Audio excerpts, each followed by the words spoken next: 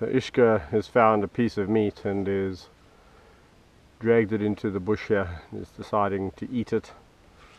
Although what she doesn't know is she's getting fed today and she'll be getting fed a nice fresh hunk of meat. But now if she eats this smelly rotten meat she's not going to get anything. Your choice girl. Oh, that's disgusting.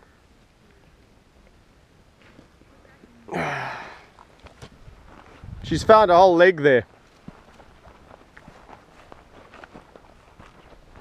What you doing? Are you playing with some guts? Oh, that's fun. Is that fun? I don't know if that's fun. That's disgusting, my sweetie. What are people going to think of you? You're meant to be a lion.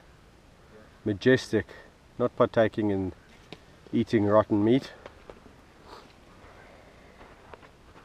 Oh.